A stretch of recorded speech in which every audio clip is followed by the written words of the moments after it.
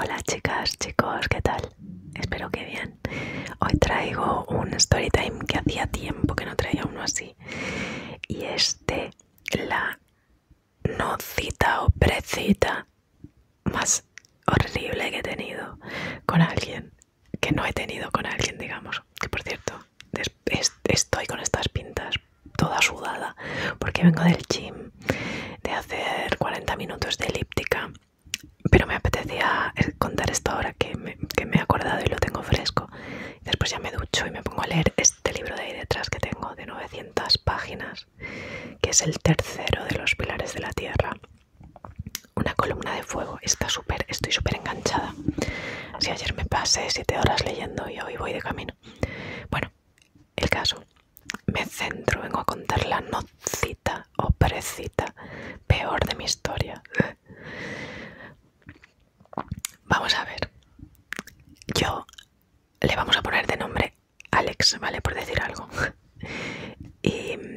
pero es, una identidad ficticia, ¿eh? para que no se enfade por si me sigue siguiendo en el canal, que lo dudo. Cuando me abrí el canal hace años, ¿eh? Hace años, pues al principio del canal tienes más tiempo a hablar con más gente y además yo trabajaba menos horas.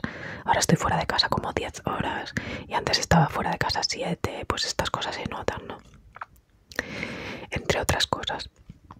Bueno, pues eh, así como conocí a muchas chicas que hoy en día son amigas y chicos, pues en este momento conocí a esta persona entre ellas, ¿no? Se llamaba Alex, digamos.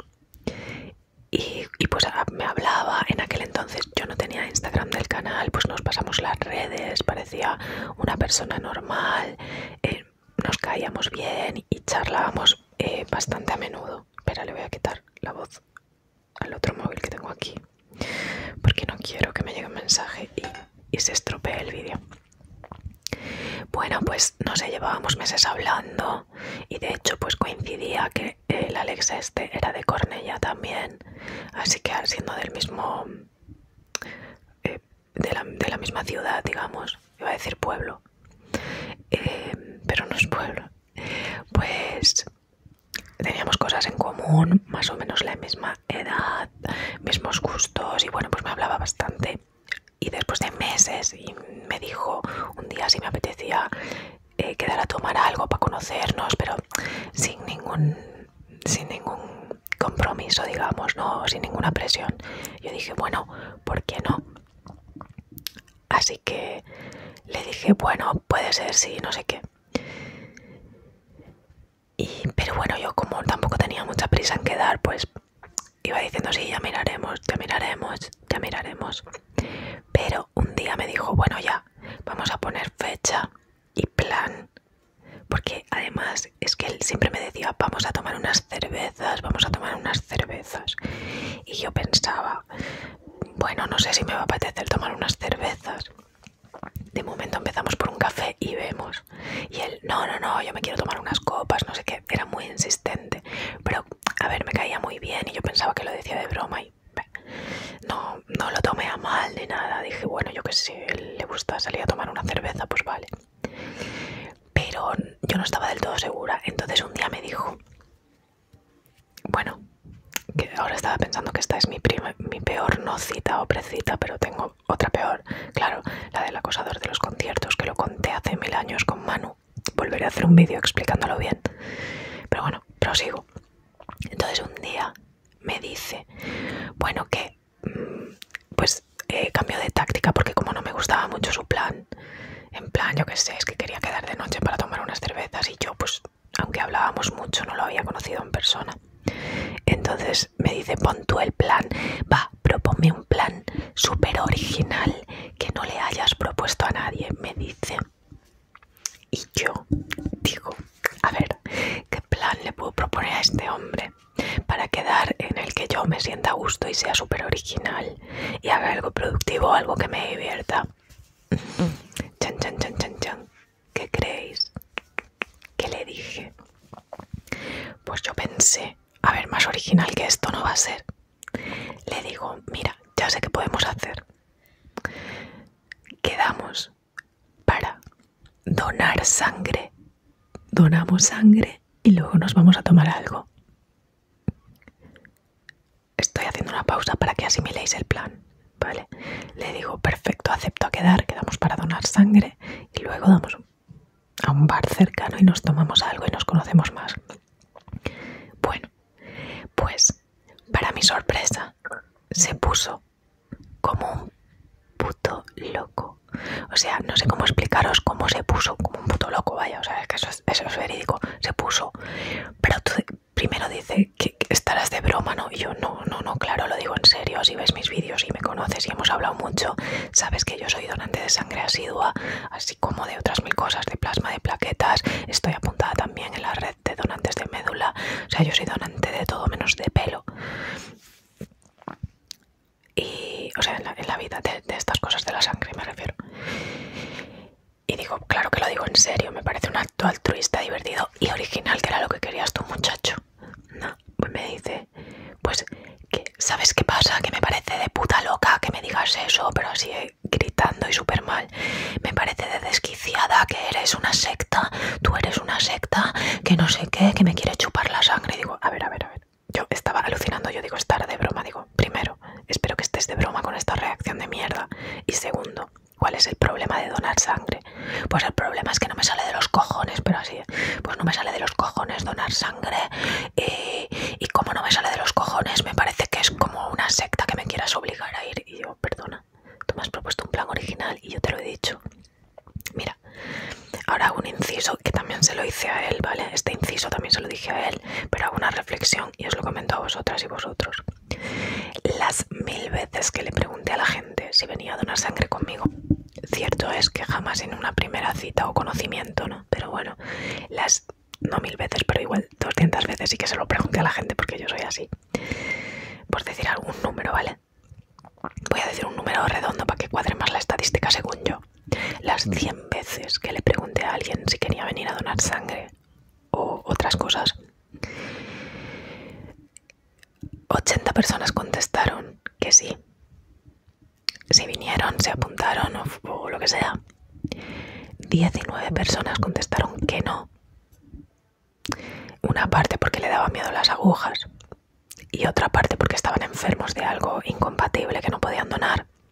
Por ejemplo, mi amigo Ángel, que había pasado una enfermedad hacía tiempo, eh, pero era incompatible con la donación de sangre, ¿vale? Aunque está sano y tal, está bien, hay cosas que son incompatibles. Luego otra amiga mía tenía anemia crónica, pues tampoco, porque no va bien. Eh, y otra gente le daban miedo las agujas o la sangre. Bueno, pues ya está.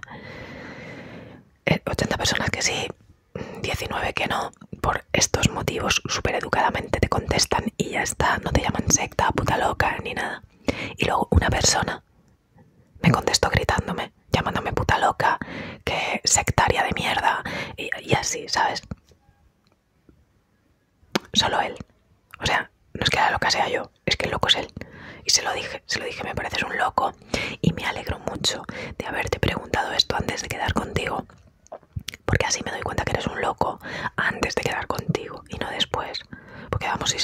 persona, igual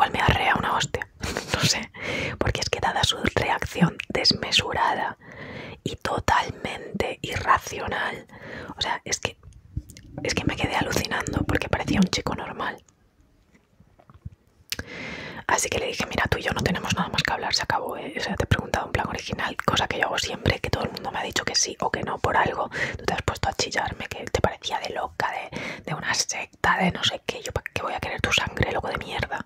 Yo era por hacer algo que yo hago y me hace sentir bien. Y si no quieres, di que no ya está, pero no te pongas así, loco de mierda. Bueno, total, que dije, ya está, se acabó, no tengo nada más que hablar contigo porque no quiero gente violenta en mi vida. Y si una persona que ni todavía conoces se te pone violenta en la distancia, imagínate después de dos años en la presencia. No, no, no. Fuera, fuera, fuchi, fuchi.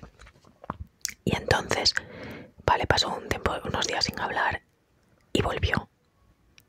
Volvió a pedirme perdón. Ojo, porque vio que yo, es que eh, como yo diga, se acabó, se acabó y ya está, ¿sabes? Que no, no me merece la pena, yo no quiero gente tóxica en mi vida y no la tengo y punto. Entonces volvió pidiéndome perdón y digo, ah, bueno, estás reconociendo que tuviste una una reacción irracional y muy violenta. Bueno, sí, pero es que me sorprendió tanto, perdona, pero es que perdí los nervios porque es que me pareció un poco raro y digo, bueno, ya, pues lo dices con educación y ya está. Mira, no me apetece. Alba, tienes unas ideas de bombera, que yo qué sé.